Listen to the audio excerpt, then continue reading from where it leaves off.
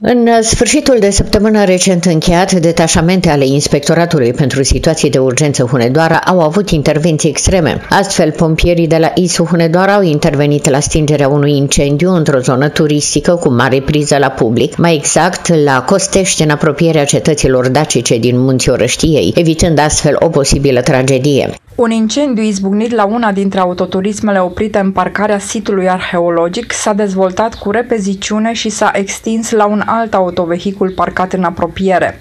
Cetatea dacică este amplasată într-o zonă de munte, echipajele de intervenție specializate în stingerea incendiilor ale detașamentului de pompieri orăștie, parcurgând aproximativ 30 de kilometri până la locul în care se dezvolta arderea.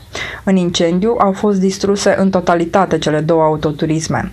Exista pericolul extinderii incendiului și la alte autoturisme, însă jandarmii aflați în paza obiectivului arheologic i-au avertizat pe turiștii aflați în sit care au reușit să mute mașinile la timp. Incendiul s-a soldat doar cu pagube materiale, nimeni nefiind rănit sau intoxicat cu fum. Detașamentul de pompieri Orăștie a dislocat o auto specială cu capacitate medie, o ambulanță smurd și o auto specială de primă intervenție și comandă. Cel mai probabil, incendiul a fost generat de un scurt circuit la rețeaua electrică a unui autoturism.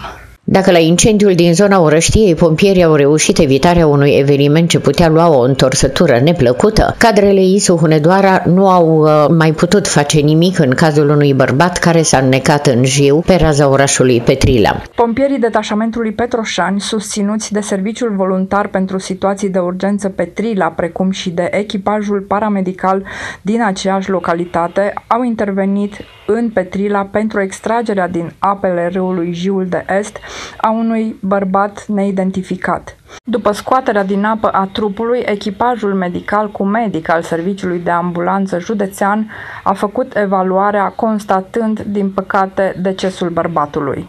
În această cauză, cadavrul a fost preluat și transportat la Serviciul de Medicină Legală pentru stabilirea cauzei decesului, iar polițiștii continuă cercetările pentru identificarea persoanei decedate, dar și a posibilelor circumstanțe de producere a morții în urma unei acțiuni ce intră sub incidența codului penal.